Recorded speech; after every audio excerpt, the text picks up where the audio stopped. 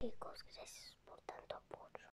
Estaré haciendo una película, ya vieron el trailer, así que ya no veré qué se va a tratar. Pero bueno, espero que les guste. Va a ser una película muy buena y van a estar también mis amigos.